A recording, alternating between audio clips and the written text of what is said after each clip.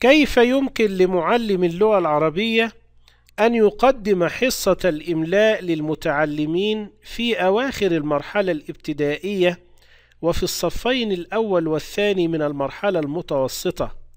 أو بمعنى آخر ما الاستراتيجية المقترحة لتدريس الإملاء للطلاب في هاتين المرحلتين؟ كلمة الاستراتيجية تشير إلى مجموعة من الإجراءات التدريسية المحددة التي تقوم بها أنت كمعلم للغة العربية لتحقيق أهداف درسك. والدرس هنا هو قاعدة إملاء جديدة تريد أن تقدمها لطلابك سواء كانوا في الصف الرابع أو الخامس أو السادس الابتدائي أو الأول أو الثاني المتوسط. تشمل إجراءات استراتيجية تدريس الإملاء. أولا التمهيد لموضوع الدرس ويتم هذا التمهيد من خلال مقدمة موجزة تقدمها كمعلم تهيئ طلابك فيها لدراسة القاعدة الإملائية الجديدة. ثم تبدأ معهم في قراءة النص الإملائي قراءة نموذجية صحيحة. مع التركيز على الكلمات الصعبة في التهجي التي تتوقع أن يجد طلابك صعوبة في كتابتها. ثم تبدأ في مناقشة المعنى العام للنص الإملائي بأسئلة توجهها إلى طلابك وتطلب منهم أن يجيبوا عنها في ضوء ما فهموه من معنى هذا النص. ثم تنتقل بعد ذلك إلى مرحلة التهجي للكلمات التي تتشابه مع المفردات الصعبة الموجودة في النص الإملائي.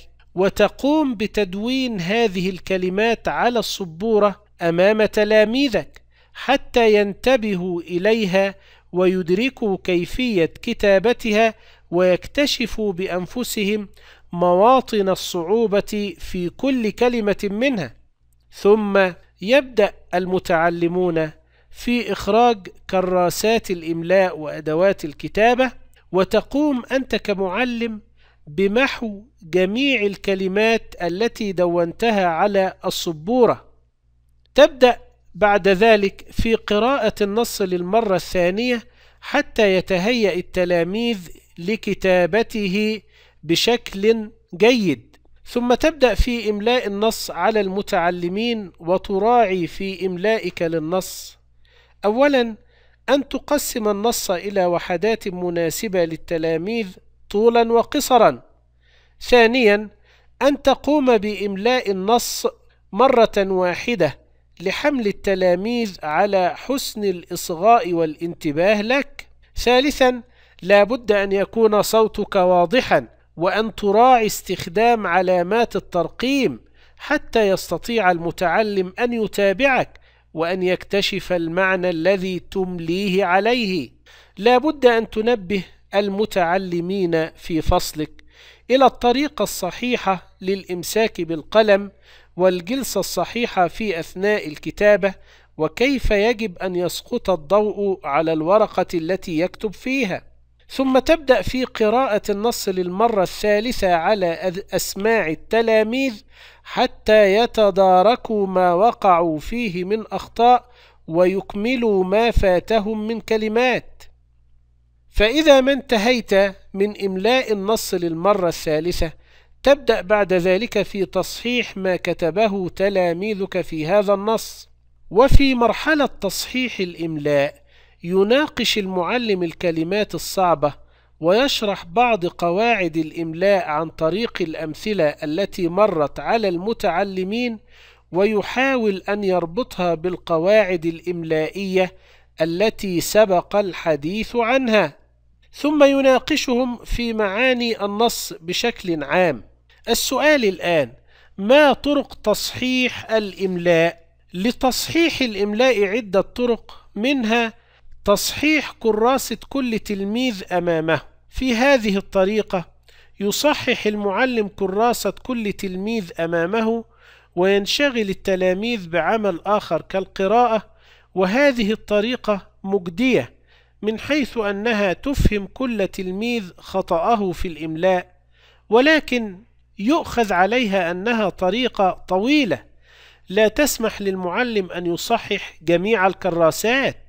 بل إنها تجعل المعلم في شغل عن باقي التلاميذ الذين قد ينصرفون إلى اللهو والعبث.